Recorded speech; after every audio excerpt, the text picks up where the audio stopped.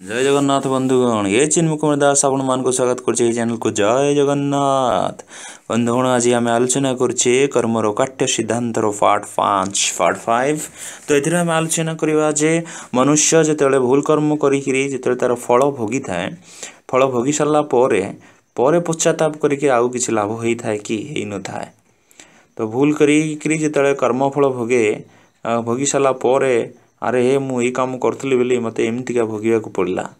ତ ସେତେବେଳେ କହିକିରି ଆଉ ପଶ୍ଚାତାପ କରିକି ସେତେବେଳେ ଲାଭ କିଛି ନଥାଏ। କାରଣ କର୍ମ ତୁମେ କରିଦେଇଥିବ ଫଳ ତୁମର ଭୋଗ ଚାଲିଥିବ। ଠିକ୍ ଅଛି? ତ ଆଲୋଚନା କରିବା ଆମେ ଘଟଣା ମାଧ୍ୟମରେ। ଇଏ ହେଉଛି ଉଣେଇଶହ ସତାବନ ମସିହାର ପୂର୍ବ କଥା। ଇଏ ହେଉଛି ଉତ୍ତରପ୍ରଦେଶର ଗାଜିଆବାଦ ଜିଲ୍ଲାର ପିଲଖୁଆ ଗ୍ରାମ ଅଞ୍ଚଳର କଥା।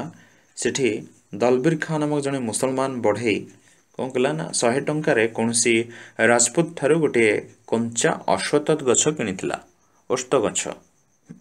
ଅଶ୍ୱତତ ଆମେ ଜାଣିଛେ ଯେ ଭଗବାନ ଗୀତାରେ କହିଛନ୍ତି ଯେ ବୃକ୍ଷମାନଙ୍କ ମଧ୍ୟରେ ସିଏ ହେଉଛନ୍ତି ଅଶ୍ୱତତ ବୃକ୍ଷ ଅଶ୍ୱତତ ସର୍ବବୃକ୍ଷାଣାମ ଠିକ୍ ଅଛି? ତ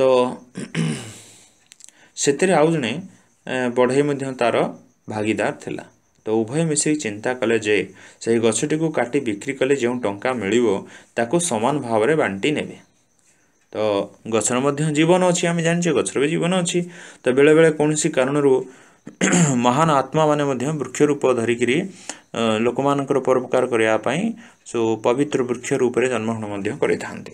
ତ ସେଭଳି ଏକ ମହାନ ଆତ୍ମା ତ ଏହି ଅଶ୍ୱଗତ ବୃକ୍ଷ ରୂପରେ ଜନ୍ମ ହୋଇଥିଲେ। ତ ସେହି ବୃକ୍ଷ ର ଜୀବାତ୍ମା ଦଲ ଏଇ ଯେଉଁ ଦଲବୀରକୁ ସ୍ୱପ୍ନରେ ଦେଖାଦେଲେ ରାତିରେ। ଦେଖାଦେଇ କହିଲେ ତୁମେ ମୋତେ କାଟିବାକୁ ଯାଉଛ କାଟିଦେଲେ ମୋର ମୃତ୍ୟୁ ହୋଇଯିବ। ତୁମେ ମୋତେ ଶହେ ଟଙ୍କା ଦେଇ କିଣିଛ ଆଉ ଯାହା ଲାଭ ହେବ ସେସବୁ ମୁଁ ତୁମକୁ ଫେରାଇ ଦେଉଛି। ମୋ ମୂଳରେ ଗୋଟିଏ ସ୍ଥାନ ଖୋଳିଲେ ତୁମକୁ ସୁନା ଦଣ୍ଡଟିଏ ମିଳିବ। ତାକୁ ବିକ୍ରି କରି ତୁମେ ଯେଉଁ ଲାଭ ପାଇବ ସେଥିରୁ ସବୁ ଖର୍ଚ୍ଚ ଭରଣା ହୋଇଯିବ। ଏଣୁ ଦୟାକରି ମୋତେ କାଲି କାଟିବ ନାହିଁ। ମୋତେ ପ୍ରାଣଦାନ ଦେବ। ତ ଏହି ସ୍ୱପ୍ନ ଉପରେ କିନ୍ତୁ ସେ ବିଶ୍ୱାସ କଲା ନାହିଁ। ତଥାପି ସେ ତା କଥାକୁ ପରୀକ୍ଷା କରିବା ପାଇଁ ଯେଉଁ ସ୍ଥାନରେ ସ୍ୱପ୍ନରେ ବୃକ୍ଷର ଆତ୍ମା କହିଥିଲା ତାଙ୍କୁ ସେଠାରେ ସେ ଖୋଳିଲା।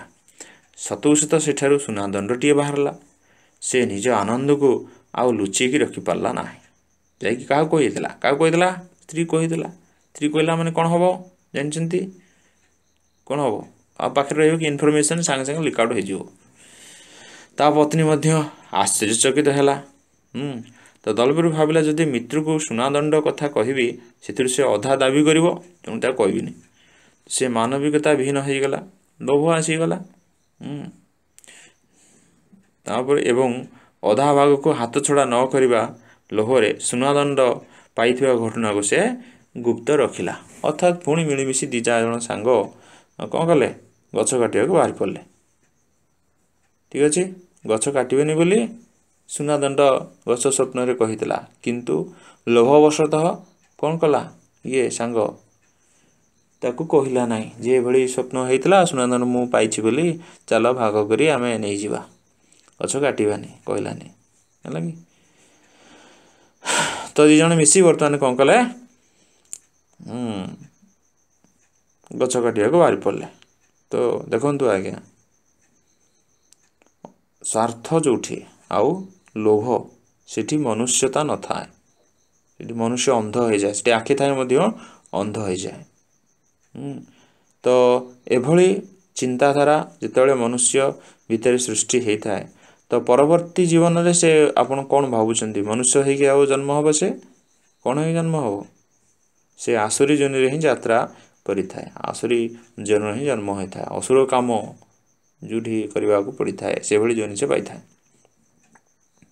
ଆଉ ମାନେ ମନୁଷ୍ୟ ଜନ୍ମରୁ ସେ ତଳକୁ ତଳକୁ ଯାଇଥାଏ। ତ ଆଉ ଉର୍ଦ୍ଧ୍ୱଗତି ହେଇନଥାଏ। ତ ମନୁଷ୍ୟ ଏପରି ଏକ ପ୍ରାଣୀ ଯେ ସେ ଚାହିଁଲେ ଦେବତା ହେଇପାରେ ଚାହିଁଲେ ମଧ୍ୟ ଅସୁର ହୋଇପାରେ। ଠିକ୍ ଅଛି? ତ ଏହା ହେଉଛି ତା'ର ହାତର କଥା।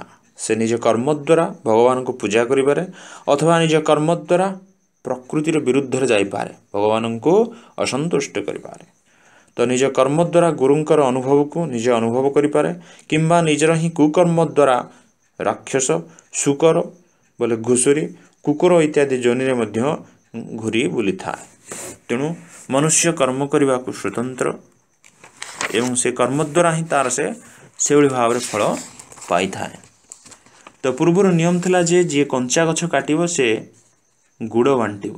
ସେ ସମୟରେ ନିୟମ ଥିଲା କଞ୍ଚା ଗଛ କାଟନ୍ତି ନାହିଁ କାହିଁକି କଞ୍ଚା ଗଛର ଜୀବନ ଥାଏ?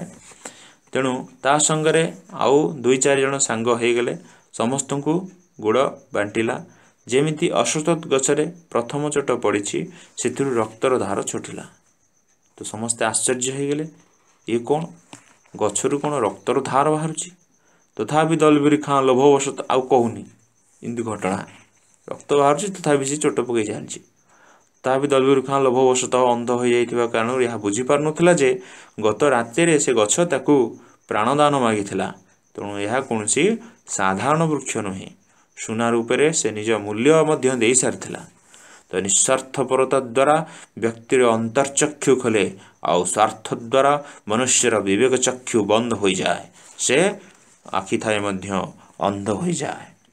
ରଜଗୁଣୀ ଓ ତମଗୁଣୀ ମନୁଷ୍ୟର ବିବେକ କ୍ଷୀଣ ହୋଇଯାଏ ଏବଂ ସତ୍ୱଗୁଣୀ ମନୁଷ୍ୟର ବିବେକ ବୈରାଗ୍ୟ ଓ ମୁଖ୍ୟ ପ୍ରସାଦ ଆପଣା ଛାଏଁ ବଢ଼ି ଚାଲେ ମନୁଷ୍ୟ ଯେତିକି ନିଃସ୍ୱାର୍ଥ କାର୍ଯ୍ୟ କରେ ତା ସଂସ୍ପର୍ଶରେ ଆସୁଥିବା ଲୋକମାନଙ୍କର ସେତିକି ହିତ ହୋଇଥାଏ ଆଉ ସେ ଯେତିକି ସ୍ୱାର୍ଥୀ ହୁଏ ସେ ଯେତିକି ନିଜର ଓ ଜ୍ଞାତି କୁଟୁମ୍ବର ଅନିଷ୍ଟ କରିଥାଏ ସେ ଯେତିକି ସ୍ୱାର୍ଥୀ ହୁଏ ସେ ସେତିକି ନିଜର କ୍ଷତି କରିଥାଏ ଏବଂ ଜ୍ଞାତି କୁଟୁମ୍ବମାନଙ୍କର ମଧ୍ୟ ଅନିଷ୍ଟ ସାଧନ କରିଥାଏ।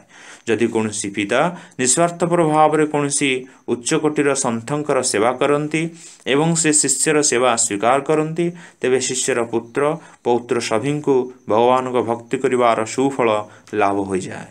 ଭକ୍ତିର ଫଳପ୍ରାପ୍ତ ହେବା ହସ ଖେଳର କଥା ନୁହେଁ। ଭଗବାନଙ୍କ ନିକଟରେ ଜଣେ ଯୋଗୀ ପହଞ୍ଚିଲେ। ସେ କହିଲେ ଭଗବାନ ମୋତେ ଭକ୍ତି ଦିଅନ୍ତୁ। ତ ଭଗବାନ କହିଲେ ମୁଁ ତୁମକୁ ରିଦ୍ଧି ସିଦ୍ଧି ଦେଇଦେବି। ତୁମେ ଚାହିଁଲେ ପୃଥିବୀର କୌଣସି ରାଜ୍ୟ ତୁମକୁ ଦେଇଦେବି କିନ୍ତୁ ଭକ୍ତି ମାଗ ନାହିଁ। ତ ଯୋଗୀ କହୁଛନ୍ତି ଆପଣ ତ ସବୁ ଦେବାକୁ ପ୍ରସ୍ତୁତ ଅଛନ୍ତି କିନ୍ତୁ ଆପଣ ଭକ୍ତି କାହିଁକି ଦେଉନାହାନ୍ତି? କାରଣ ଭକ୍ତି ଦେବା ପରେ ମୋତେ ଭକ୍ତ ପଛେ ପଛେ ଘୂରିବାକୁ ପଡ଼େ। ତେଣୁ ଭକ୍ତି ଭକ୍ତ ହେବା ଏତେ ସାଧାରଣ କଥା ନୁହେଁ।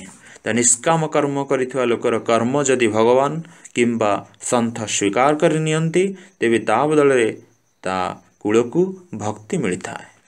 ତେଣୁ ଯାହା କୂଳକୁ ଭକ୍ତି ମିଳେ କୌଣସି ଧନବାନ ତାର ସମକକ୍ଷ ହୋଇପାରେ ନାହିଁ। ସତ୍ତାଧାରୀ ବ୍ୟକ୍ତି ଅବା ତାର କିପରି ସମକକ୍ଷ ହୋଇପାରିବ? ଯିଏ ନିଷ୍କାମ ସେବା କରେ ତାକୁ ହିଁ ଭକ୍ତି ମିଳେ। ଯେପରି ହନୁମାନ ରାମଙ୍କୁ କହିପାରିଥାନ୍ତେ ମହାରାଜ ମୁଁ ତ ବ୍ରହ୍ମଚାରୀ ମୋତେ ଯୋଗ ଧ୍ୟାନ କିମ୍ବା ଏପରି କିଛି ମନ୍ତ୍ର ଦେଇ ଦିଅନ୍ତୁ ଯାହାକୁ ମୁଁ ଜପ କରିବି। ଆପଣଙ୍କର ପତ୍ନୀ ହଜିଛି ଅସୁର ନେଇଯାଇଛି ସେଥିପାଇଁ ମୁଁ କାହିଁକି ଜୀବନ ବାଜି ଲଗେଇବି? କିନ୍ତୁ ହନୁମାନଙ୍କଠାରେ ଏପରି ଦୁର୍ବୁଦ୍ଧି କିମ୍ବା ସ୍ୱାର୍ଥ ବୁଦ୍ଧି ନଥିଲା। ହନୁମାନ ତ ରାମଙ୍କର କାର୍ଯ୍ୟକୁ ନିଜ କାର୍ଯ୍ୟ ବୋଲି ଭାବୁଥିଲେ। ଏଥିପାଇଁ ପ୍ରାୟ ଲୋକେ ଗାଇଥାନ୍ତି ରାମ ଲକ୍ଷ୍ମଣ ଜାନକୀ ଜୟ ବୋଲ ହନୁମାନ କି। ତ ଶ୍ରୀ ରାମଚରିତ ମାନସରେ ଗୋଟିଏ ପ୍ରସଙ୍ଗ ଅଛି ଯେ ମୈନାକ ପର୍ବତ ସମୁଦ୍ର ମଧ୍ୟଭାଗରୁ ଉଠି ଆସି ହନୁମାନଙ୍କ ସମ୍ମୁଖରେ ପ୍ରକଟ ହୋଇକରି କହିଲେ ଯେ ଏଠାରେ ଟିକେ ବିଶ୍ରାମ କରନ୍ତୁ। ହନୁମାନଜୀ ଆପଣ ତ ରାମ କାର୍ଯ୍ୟରେ ଯାଉଛନ୍ତି ଏଇ ଆପଣ ଟିକେ ଏଇଠି ବିଶ୍ରାମ କରନ୍ତୁ। କିନ୍ତୁ ହନୁମାନ କହିଲେ ରାମ କାଜ ଜିହ୍ନେ ରାମ କାଜ କିହ୍ନେ ବିନୁ ମୋହି କାହା ବିଶ୍ରାମ? ତ ରାମ କାର୍ଯ୍ୟ ଯେତେବେଳେ ମୁଁ କରିବାକୁ ଯାଉଛି ବିଶ୍ରାମ କାହିଁ ମୋର? ରାମ କାର୍ଯ୍ୟରେ ବିଶ୍ରାମର ଆବଶ୍ୟକତା ନାହିଁ। ନିଷ୍କାମ କର୍ମ କରିବା ବାଲା ଯେଉଁ କର୍ମର ଦାୟିତ୍ୱ ନେଇଥାନ୍ତି ତାହା ସମ୍ପୂର୍ଣ୍ଣ କଲାବେଳେ ଯେତେ ବିଘ୍ନ ଆସିଲେ ମଧ୍ୟ ଯେତେ ବାଧା ପଡ଼ିଲେ ମଧ୍ୟ ନିନ୍ଦା ମିଳୁ ବା ସଂଘର୍ଷ କରିବାକୁ ପଡ଼ୁ ତାହା ଶେଷ ନ କଲା ପର୍ଯ୍ୟନ୍ତ ଶାନ୍ତିରେ ନିଶ୍ୱାସ ମାରନ୍ତି ନାହିଁ। ନିଷ୍କାମ କର୍ମ କରୁଥିବା ବ୍ୟକ୍ତିର ନିଜସ୍ୱ ଅନନ୍ୟ ରୀତି ଶୈଳୀ ହୋଇଥାଏ। ଠିକ୍ ଅଛି? ତ ଦଲବୀର ଖାଁ ସ୍ୱାର୍ଥରେ ଏତେ ଅନ୍ଧ ହୋଇପଡ଼ିଥିଲା ଯେ ରକ୍ତର ଧାରା ଦେଖି ମଧ୍ୟ ସେ ବୁଝିପାରିଲା ନାହିଁ ଯେ ସେ କ'ଣ କରୁଛି। ସେ କୁରାଢ଼ି ଚୋଟ ପରେ ଚୋଟ ମାରି ଚାଲିଲା ଚୋଟ ପରେ ଚୋଟ ମାରି ଚାଲିଲା। ଯିଏ ସ୍ୱାର୍ଥାନ୍ତ ହୋଇ ଅନ୍ୟ ଉପରେ ଅତ୍ୟାଚାର କରେ ପ୍ରକୃତି ତାକୁ ସଙ୍ଗେ ସଙ୍ଗେ ସେହିପରି ଫଳ ମଧ୍ୟ ଦେଇଥାଏ। ଆସନ୍ତୁ କ'ଣ ସେ ଫଳ ଭୋଗିଲା ଦେଖିବା। ଯେମିତି ସେ ନିର୍ଦ୍ଦୋଷ ବୃକ୍ଷ ଉପରେ କୁରାହାଡ଼ି ଚୋଟ ମାରିବା ଆରମ୍ଭ କରିଛି ତତ୍କ୍ଷଣାତ୍ ତାର ସୁସ୍ଥ ସୁନ୍ଦର ପୁଅ ଯାହାକୁ କେବେ ରୋଗ ସ୍ପର୍ଶ କରିନଥିଲା ଯାହାର ନଖରେ ମଧ୍ୟ ରୋଗ ବିରାଗର ନାଁ ଶୁଦ୍ଧ ନଥିଲା ହଠାତ୍ ଯନ୍ତ୍ରଣାର ଚିତ୍କାର କରି ପଡ଼ିଗଲା।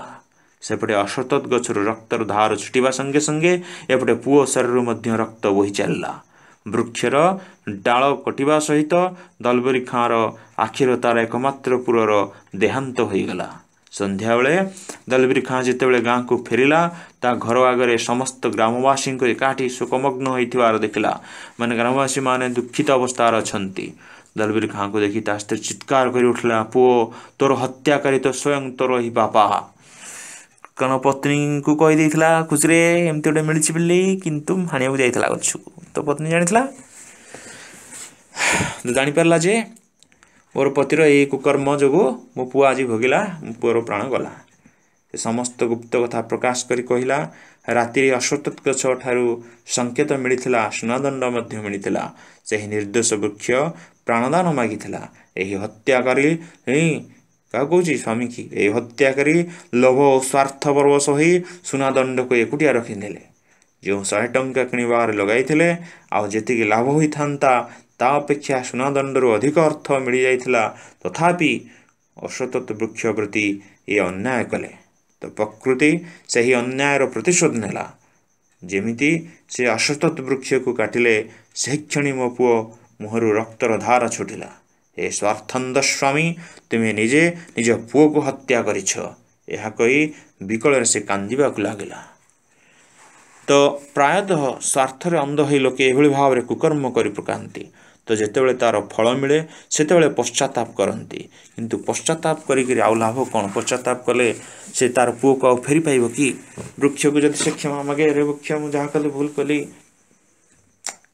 କିନ୍ତୁ ପ୍ରକୃତି କ୍ଷମା ଦେବନି। ଗୋଟେ କଥା ଆଜ୍ଞା ଜାଣିଥିବା। ଭଗବାନ କ୍ଷମା ଦେବା ପ୍ରକୃତି କ୍ଷମା ଦେବା ଗୋଟିଏ କଥା ନୁହେଁ। ଭଗବାନ କ୍ଷମା ଦେଇପାରନ୍ତି କିନ୍ତୁ ପ୍ରକୃତି କେବେ କ୍ଷମା ଦେବନି।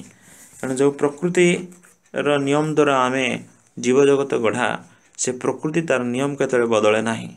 ତେଣୁ ଆମର ପ୍ରକୃତି ଯେଭଳି ହେଇଥାଏ ଆମକୁ ଫଳ ସେଭଳି ମିଳିଥାଏ। ସେ ଫଳ ନିଶ୍ଚୟ ଫଳିବ ତାହାର ମୁଖରୁ ନା ଭଗବାନ ନା କୌଣସି ମୁନି ସାଧୁ ସନ୍ଥ ତାହାକୁ ରକ୍ଷା କରିପାରିବେ ନାହିଁ। ଯେଭଳି ଆମେ ଜାଣିଛେ ଅଭିଶାପ ନିଶ୍ଚୟ ଫଳିଥାଏ। ଅଭିଶାପକୁ କେହି ରକ୍ଷା ଅଭିଶାପକୁ କେହି କାଟିପାରନ୍ତି ନାହିଁ। ଭଗବାନ ନୁହଁ କି ଅନ୍ୟ କୌଣସି ସାଧୁସନ୍ଥ ନୁହଁ। ତେଣୁ ଅଭିଶାପ ଫଳିବ ହିଁ ଫଳିବ। କାହା ଦ୍ୱାରା ପ୍ରକୃତି ଦ୍ୱାରା ଫଳିଥାଏ। ତେଣୁ ପ୍ରକୃତି ଯେତେବେଳେ ଦଣ୍ଡ ଦେଇଥାଏ ସେତେବେଳେ ସେ ଦଣ୍ଡକୁ କାଟିବାର ସାମର୍ଥ୍ୟ କାହାର ନଥାଏ। ସ୍ୱୟଂ ପ୍ରକୃତିକୁ ସୃଷ୍ଟି କରିଥିବା ଭଗବାନଙ୍କର ମଧ୍ୟ। ତେଣୁ ବେଳେବେଳେ ସାବଧାନ ଜୟ ଜଗନ୍ନାଥ। ଏହାକୁ ସେ ନିଶ୍ଚୟ କରିବେ। ଅନ୍ୟମାନଙ୍କୁ ନିଶ୍ଚୟ ଶୁଣାଇବେ। ଜୟ ଜଗନ୍ନାଥ।